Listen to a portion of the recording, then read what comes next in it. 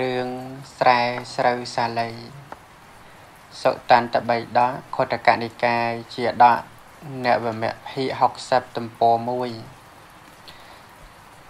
សត្ថារីព្រះបរមសាស្តាកាលទ្រង់គង់នៅក្នុងវត្តចេតពុនទ្រង់ប្ររពនឹងភិក្ខុមួយអង្គដែលចិញ្ចឹមម្ដាយតើបទ្រង់សម្ដែងនៅរឿងនេះឡើងដោយមានពាក្យខាងដើមថា ស្រូវសាលីក្នុងស្រែបរិបូរដែរដូច្នេះជាដើមរឿងពិខោដែលចិញ្ចឹមម្ដាយនេះមានសម្ដែងនៅក្នុងរឿងព្រះសវណ្ណសាម គឺដូចរឿងសវណ្ណសាមដែរលំដាប់នោះព្រះបរមគ្រូបានត្រាស់ហៅពិខោនោះមកសួរថាមនាលពិខោបានលើថាអ្នកឯងចិញ្ចឹមគ្រោះពិតមែនឬ ភិក្ខុអង្គនោះក៏ទូលព្រះពុទ្ធដីកាចំពោះព្រះដ៏មានពភៈថាបពិតព្រះដ៏មានពភៈដ៏ចម្រើន ការនោះពិតមែនព្រះអង្គ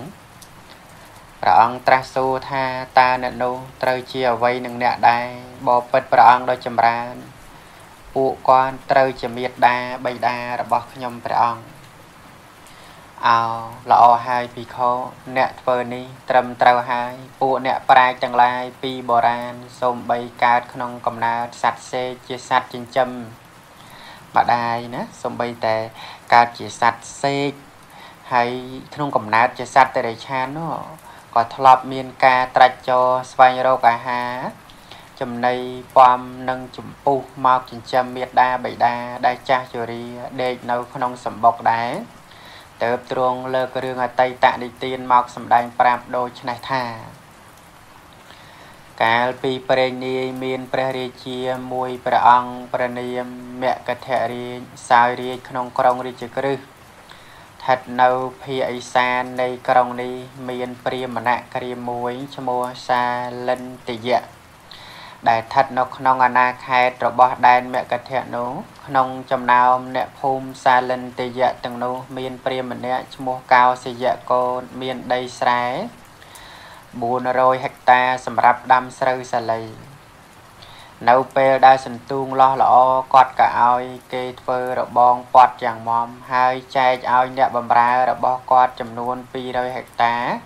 ដោយឲ្យម្នាក់មើលថែរក្សា20ហិកតាម្នាក់25ហិកតាជាដើមនិង200ហិកតាទៀតគាត់ជួលឲ្យកូនឈ្នួលម្នាក់មើលថែដើម្បីកាត់បំណុលបរោះអ្នកស៊ីឈ្នួលនោះក៏ធ្វើខ្ទមនៅចាំទាំងយប់ទាំងថ្ងៃនៅនីជ្រលងភ្នំមួយភាគឦសាននៃស្រែនោះមានព្រៃរកាយ៉ាងធំ មានសត្វសេកជាច្រើនអាស្រ័យនៅសម័យនោះឯងព្រះពោធិសត្វបានកើតជាកូនស្ដេចសេកក្នុងហ្វូងនោះ នៅពេលមានវ័យចម្រើនឡើងមានរូបឆោមលោមពណ៌ស្អាតក្រៃលែងមានកម្លាំងខ្លាំងនិងមានខ្លួនប៉ុនដុំប្រតេះបន្ទាប់មកបៃតាដែលមានវ័យចាស់ហើយក៏ប្រគល់ឲ្យព្រះពោធិសត្វគ្រប់គ្រងវងសេកនោះថាឥឡូវនេះខ្លួនអញចាស់ហើយមិនអាចទៅណា ឆ្ងាយបានទេចូលបាគ្រប់គ្រងរក្សានៅវងសេកទាំងនេះផងចោះ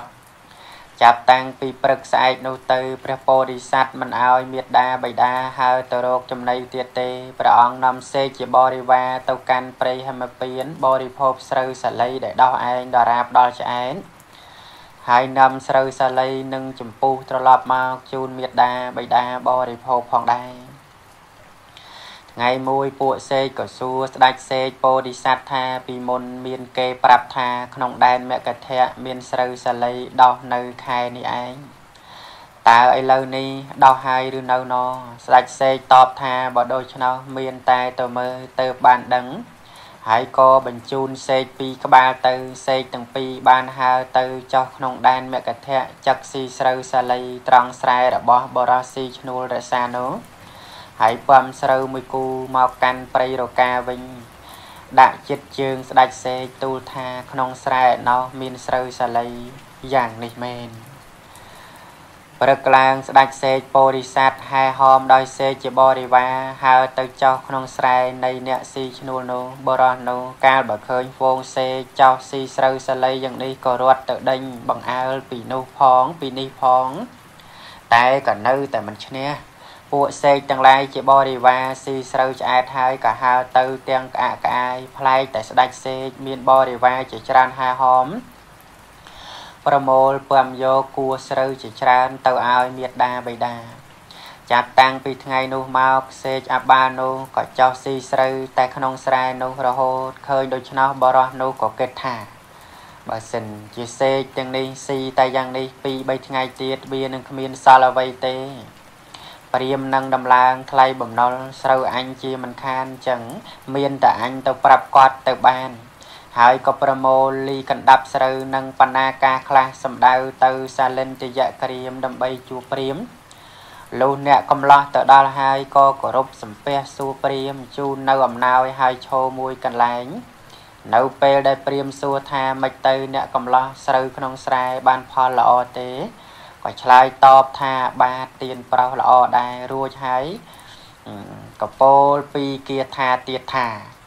បពេតកោសយៈស្រូវសាលីក្នុងស្រែបរិបោដែរតែពួកសេកតែងស៊ីបពេតព្រាមខ្ញុំសូមជម្រាបលោខ្ញុំមិនអាចហាមឃាត់សេកទាំងអស់នោះបានឡើយ បណ្ដាសេកទាំងនោះមានសេកមួយដែលល្អដោយចំណែកទាំងពួង ជាងសេកទាំងនោះសេកនោះមានរូបល្អមានចំពុះក្រហមមានភ្នែកដូចផ្លែទំពាំងបាយជូរមានជើងក្រហមមានកលម្អដោយស្នាមក្រហម3ជុំមានប្រមាណស្មើដោយមយូរាដ៏អស្ចារ្យស៊ីនៅស្រូវសាលីតាមសេចក្តីប្រាថ្នារួចហើយក៏ពំស្រូវដោយចម្ពុះហើទៅទៀត ព្រាមបន្ទាប់ពីបានស្ដាប់ពាក្យអ្នករសាស្រែនោះហើយមានចិត្តស្រឡាញ់ស្ដេចសេកពន់ពេកក៏សួរអ្នករសាស្រែថាណែអ្នកកំឡោះតើឯងចេះដាក់អន្ទាក់ទេបរោះនោះឆ្លើយថាបាទចេះទៀនប្រោពេលនោះគាត់ក៏បង្កប់ថាជន់ទាំងឡាយចូលដាក់អន្ទាក់ធ្វើដោយកន្ទុយសัตว์បើសីនោះនឹងចប់ចូលអ្នកចាប់វាទាំងរស់នាំមកក្នុងសំណាក់នៃអញ នាយរក្សាស្រែត្រឡប់ទៅវិញទាំងមានចិត្តត្រេកអរពន់ពេកណាដោយព្រាមមិនបានដំឡើងថ្លៃបំណុលស្រូវគាត់បានវិញកន្ទុយសេះធ្វើជាអន្ទាក់រួចទៅសង្កេតចាំមើលកន្លែងដែលស្ដេចសេចោះជាប្រក្រតីក៏ដឹងថាថ្ងៃនេះស្ដេចសេចោះត្រង់នេះស្អែកឡើងគាត់ក្រោកពីព្រលឹមយកអន្ទាក់ទៅដាក់រួចធ្វើទ្រង់ប៉ុនក្អមទឹកអង្គុយក្នុងខ្ទមចាំមើលហ្វូងសេកហើចោះមក ស្ដាច់សេកមិនមែនជាសត្វមិនមែនជាសត្វលោភលន់ទេ បានដើមហ្វូងសេកមកក៏ចោះត្រង់កន្លែងដែលខ្លួនបរិភោគពីម្សិលមិញដដែលហេតុនោះហើយបានជាជើងចាប់អន្ទាក់ពេលនោះស្ដេចសេកដឹងខ្លួនថាជើងរឹបនឹងរឹតចាប់ដោយអន្ទាក់ហើយក៏គិតថាបើអាត្មាអញស្រែកឥឡូវនេះថា អញចាប់អន្ទាក់ហើយពួកញាតរបស់អញនឹងភ័យខ្លាចហើយចេញទៅទាំងស៊ីចំណីមិនតាន់ឆ្អែតដូច្នេះអញត្រូវតែអត់ទ្រាំរហូតដល់ពួកគេស៊ីឆ្អែតសិននឹងទឹកចិត្តណាបងបតីករណារបស់ពពោធិសត្វដែលធ្លាប់សំមកយូរហើយក្នុងនាមជាមេជាថ្នាក់ដឹកនាំជាស្ដេចនៃហ្វូងសេកនៅពេលដែលស្ដេចសេកដឹងថាសេកទាំងនោះ នឹងឯងសេកទាំងអស់ស៊ីឆ្អែតហើយនឹងដោយភ័យខ្លាចថាខ្លួននឹងស្លាប់ផងនោះក៏ស្រែកយ៉ាងខ្លាំង3ដង ពួកវងសេកក៏ហើទៅអស់នៅតែស្ដាច់សេកម្នាក់ឯងថ្លែងវិយោគថាបាក់សីជាញាតរបស់អញទាំងនោះសូមបីម្នាក់ក៏គ្មានត្រឡប់ងាកមើលអញឡើយតើអាត្មាអញបានធ្វើបាបកម្មអ្វីទៅ រួចកពោលគាថានេះថាបាក់សីទាំងនោះស៊ីផងផឹកផងហើយហើយចេញទៅអាត្មាអញម្នាក់ឯងចាប់អន្ទាក់ហើយអាត្មាអញធ្វើហើយនៅអំពើលាមួដូចម្ដេចនាយរក្សាស្រែបានលឺសម្រែកស្ដាច់សេកនិងសន្ធឹកទៅទះនៃស្លាបនៃស្ដាច់សัตว์សេកដតីទៀតដែលហើទៅឯដរអាកាសនឹងឯងលឺសម្រែកនៃ ស្ដេចសេកនិងការទៅទះស្លាបរបស់ស្ដេចសេកដែលចាប់អន្ទាក់ហើយនឹងការទៅទះស្លាបរបស់វងសេកជាបរិវាររបស់ស្ដេចសេកប្រពោធិសត្វដ៏ច្រើននោះនឹងឯងដែលហើទៅឯកដល់អាកាសឆ្ងល់ថាអ្វីហ្នឹងរួចក៏ចុះពីខ្ទមដើរតម្រង់ទៅទីដាក់អន្ទាក់ឃើញស្ដេចសេកចាប់អន្ទាក់ដែលខ្លួន ហ្នឹងឯងដែលខ្លួនបានដាក់ហើយយ៉ាងនេះក៏មានចិត្តរីករាយដោះស្ដាច់សេកចេញពីអន្ទាក់ចងជើងទាំងពីរយ៉ាងមមនាំយកទៅជូនព្រាមនៅសាលិនទយក្រៀមចាប់អន្ទាក់ហើយពោធិសត្វណាព្រាមចាប់បរោះដែលអឺសាលិនតយៈព្រាមឲ្យដាក់អន្ទាក់ចាប់ស្ដាច់សេកប្រពោធិសត្វទាំងរស់ចាប់បានហើយយកទៅឲ្យអឺព្រាមនៅឯសាលិនតយៈក្រាមហើយ ព្រាមដែលមានចិត្តស្រឡាញ់មហាសត្វជាខ្លាំងនឹងឯងទទួលចាប់យ៉ាងមមដោយដៃទាំងពីរមកដាក់ឲ្យឈរលើស្មា ហើយពោលពីរគាថាទៅកាន់ស្ដេចសេកដោយរីករាយថាឧតរាំងនូអ្នកអញ្ញេសាងសុវៈអាចោតរាំងតាវៈពុទ្ធវាសាលឹងយថាកាមੰតនដេនីទាយៈគេចតេ មនាលសេកពោះសេកទាំងឡាយដតីជាពោះតូចល្មមដោយពេទ្យចំណែកខាងពោះរបស់អ្នកជាពោះធំជ្រុលពេងបានជាស៊ីស្រូវសាលីតាមសេចក្តីប្រាថ្នារួចហើយក៏ពំយកស្រូវដោយចម្ពុះហើទៅកោតហੰនុតតហៈពោរេសេសុវៈវេរាំងនុតេមយាបតហោមេសមៈអកហាហេកុហឹងសាលឹងនិធិយសេ មនាលសេកអ្នកបំពេញចម្រុកក្នុងព្រៃរកានោះឬឬក៏អ្នកចងពៀនឹងយើងមនាលសម្លាញ់យើងសួរហើយអ្នកចូលប្រាប់អ្នកកប់ស្រូវសាលីទុកក្នុងទីណាហ្នឹងឯងសួរមើលសម័យហ្នឹងសួរជាភាសាបាលីទៅកាន់ស្ដេចសេកពោធិសត្វចឹងហាក់ដូចជាដឹងដឹងតែមិននិយាយស្ដាប់គ្នាបានឯបានពោលគាថាសួរទៅកាន់សត្វសេកអញ្ចឹង បន្ទាប់ពីបានស្ដាប់សំណួរហើយស្ដេចសេកកពោលគាថា7បទជាភាសាមនុស្សដ៏ពិរោះយ៉ាងនេះថាអ្នកមេវេរាំងតយាសតហឹងកោតហੰមៃហੰអ្នកវិជ្ជតេអ៊ីណាំងមុចាមិណੰតមិសម្បតោកោតដាក់សិមពលឹងសិមពលីនេះប្រែដើមព្រៃរកាព្រោះដើមរកា និកហឹងបេតថានិតហាមិអេវាងជានិហេកោសិយៈខ្ញុំមិនចង់ពៀនឹងអ្នកទេចម្រុករបស់ខ្ញុំក៏មិនមានដែរខ្ញុំដោះបំដុលផងឲ្យបុលផងខ្ញុំហើទៅដល់ចុងរកាក៏កប់កំណប់ទុកក្នុងព្រៃរកានោះបបិទ្ធកោសិយៈអ្នកចូលជ្រាបយ៉ាងនេះចោពោធិសត្វនឹងនិយាយពាក្យគឺថាជាសុភាសិតប្រកបដោយពាក្យនឹងមានអត្ថសេចក្តី តែខ្ញុំនឹងមិនចង់ពៀនឹងអ្នកទេចម្រុងចម្រុកអីអីនោះក៏មិនបានដែរប៉ុន្តែខ្ញុំដោះបំណុលផងឲ្យបុលផងហើយកប់កំណាប់ត្រាប់ទុកក្នុងព្រៃរកាហ្នឹងផងបើពិតកោសយៈអ្នកចូលជ្រាបយ៉ាងនេះចោះគ្រានោះដោយមិនយល់ព្រាមក៏សួរទៅទៀតថាកៃតិសាំងតេណទានណាំងអ៊ីណមកកហោចកៃតិសោនិធិនិធានៈមកហាហេអដ្ឋបាសាបមកសេ ការឲ្យបុលរបស់អ្នកដូចម្ដេចការដោះបំណុលដូចម្ដេច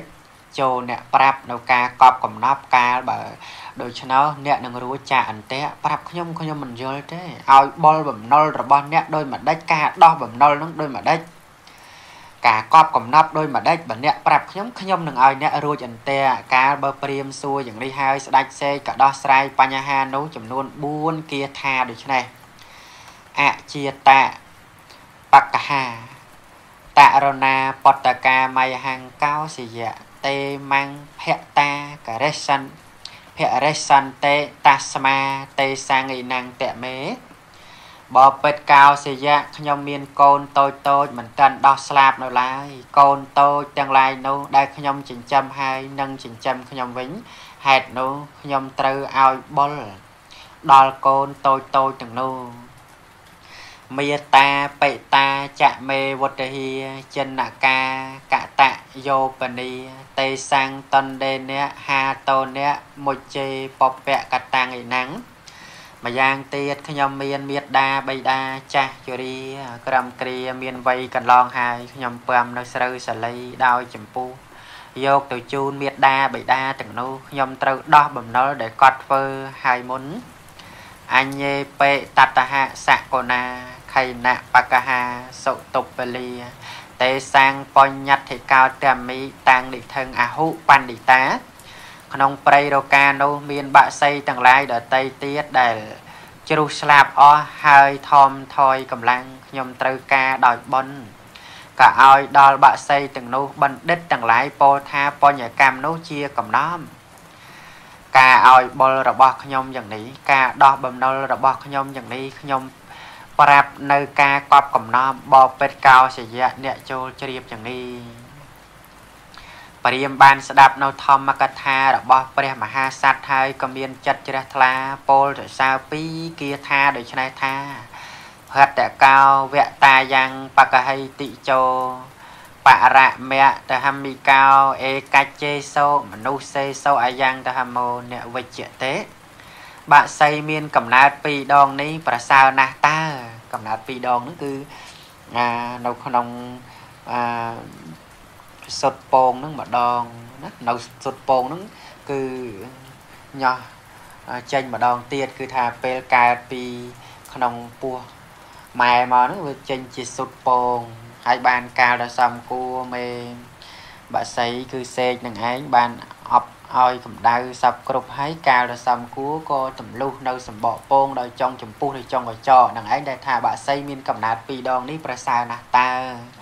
ជាសត្វប្រកបដោយធម៌ដ៏ក្រៃលែងមនុស្សពួកខ្លះមិនមានធម៌នេះទេ ចាប់ពីថ្ងៃនេះទៅ ចូលអ្នកកំភៃយើងឲ្យស្រូវទាំង400ហិកតាដល់អ្នកអ្នកចូលបរិភោគនៅស្រូវសាលីជាមួយនឹងពួកញាតិទាំងអស់តាមសេចក្តីប្រាថ្នាចោះ មនាលសេកសូមឲ្យយើងឃើញអ្នកទៀតត្បិតការបានជួបប្រទះនឹងអ្នកនេះជាទីស្រឡាញ់របស់យើងព្រាមកាលពោលអង្វរយ៉ាងនេះសម្លឹងមើលមហាសត្វដោយចិត្តដ៏ទន់ភ្លន់ព្រៀបបាននឹងមើលកូនរបស់ខ្លួន បានស្រែកចំណងជើងលៀបប្រេងថ្នាំរាប់រយដងរួចឲ្យស្ដេចសេកទុំលើតុកដល់ប្រសើរលាយលាជ និងទឹកខ្មុំដាក់ក្នុងថាសមាសឲ្យបរិភោគនិងឲ្យផឹកទឹកស្ករគ្រួនៅគ្រានោះស្ដេចសេកកពោលថាមនាលព្រាមចូលអ្នកកុំប្រមាទហើយកាលឲ្យអវាទដល់ព្រាមកពោលគាថានេះថាបបិទ្ធកោសយៈខ្ញុំបានបរិភោគផងផឹកផងក្នុងលំនៅ អ្នករួចហើយខ្ញុំមិនអាចនឹងនៅក្នុងសំណាក់នៃអ្នកអស់រាត្រីមួយទេ អ្នកចូលឲ្យទៀនចំពោះសមណៈព្រាមដែលមានអាជ្ញាដាក់ចោលហើយផង ចូលចិញ្ចឹមមេត្តាបិតាដែលចាស់ក្រំគ្រាផង ព្រាមបានស្ដាប់ហើយមានចិត្តត្រេកអរក៏បន្លឺឧទានវាចាយ៉ាងនេះថាលក្ខហេសិរីបុណ្យនិងប្រាជ្ញាបានកើតឡើង ដល់យើងក្នុងថ្ងៃនេះត្បិតយើងបានជួបនឹងស្ដេចសេកដ៏ប្រសើរជាងពួកបាសីទាំងឡាយយើងនឹងធ្វើបុណ្យឲ្យបានច្រើនព្រោះបានស្ដាប់នៅសុភាសិតរបស់សេងព្រះមហាសត្វជាសត្វដឹងប្រមាណទទួលយកស្រែស្រូវតែ3ហិកតាកន្លះប៉ុណ្ណោះអំពីស្រូវទាំងអស់400ហិកតាដែលព្រាមបានបោះបង្គោលព្រំប្រគល់ឲ្យទាំងបូជាសុំខមាទោសព្រះអង្គដោយគ្រឿងក្រអូបនិងការកម្រងជាដើម ហើយបានជូនដំណើរស្ដេចសេកដោយពាក្យថាណែអ្នកជាធំអ្នកចូលទៅចោចូលបានជួបមេដាបិតារបស់អ្នកដែលកំពុងយំរងចាំអ្នកស្ដេចសេកមានចិត្តរីករាយពំយកគួស្រូវសាលីមកដាក់ខាងមុខមេដាបិតាដោយពោលពាក្យថាអ្នកម្ដាយលោកឪពុកក្រោកឡើងពួកគាត់មានមុខទៅទឹកជោកដោយទឹកភ្នែកយំខ្សឹកសួលក្រោកឡើង ទាំងវងសេកក៏បានជួបជុំគ្នាពេលនោះ សួរនាំថាតើព្រះអង្គរួចពីអន្តៈបានយ៉ាងម៉េចទៅព្រះអង្គស្ដេចសេកបានរាយរាប់ប្រាប់ដោយសពក្រុមថ្លែងពីកោសយៈព្រាមក្រោយពីបានស្ដាប់អូវាទស្ដេចសេកហើយក៏បានតាំងឡើងនៅមហាទានដល់ពួកសមណៈព្រាមដ៏ប្រកបដោយធម៌ផងដែរព្រះបរមគ្រូកាលទ្រង់ប្រកាសសេចក្តីនោះទៅសម្ដែងនៅ